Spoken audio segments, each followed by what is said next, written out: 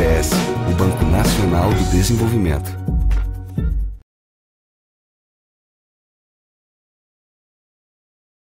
O Banco Nacional de Desenvolvimento Econômico e Social foi criado como BNDE há 56 anos, durante o governo Getúlio Vargas, e ainda não tinha o S, que faz referência à finalidade social. Ele nasceu para garantir investimento às empresas brasileiras que dependiam de recursos estrangeiros. O primeiro financiamento foi para as obras de modernização da estrada de ferro central do Brasil. Ele é apenas um banco de investimento, não possui agências concorrentistas, financia grandes empreendimentos da indústria, de infraestrutura, da agricultura, do comércio e do serviço, mas libera recursos também para as micro, pequenas e médias empresas, além de financiar investimentos sociais voltados para a saúde, educação, saneamento básico, agricultura familiar e transporte coletivo. Os juros cobrados são menores que os dos outros bancos. Os recursos vêm principalmente do Fundo de Amparo ao Trabalhador, o FAT, e do pagamento dos empréstimos concedidos. A sede do BNDES fica no Rio de Janeiro e o atual presidente é Luciano Coutinho.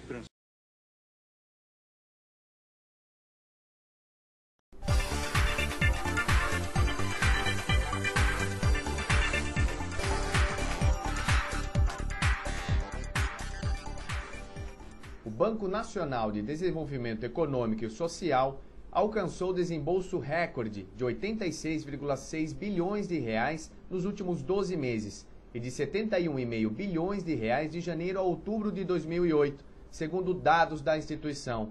De acordo com o presidente do banco, Luciano Coutinho, o fato mostra que o BNDES ainda não foi afetado pela crise de crédito global Segundo as estatísticas fornecidas pela instituição, houve aumento de 40% nos ingressos de pedidos entre agosto e outubro deste ano, em relação ao mesmo trimestre de 2007.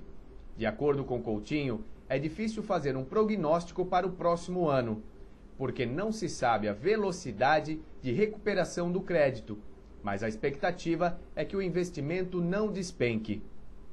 Visitem nosso site www.postigoconsultoria.com.br e mantenham-se informados.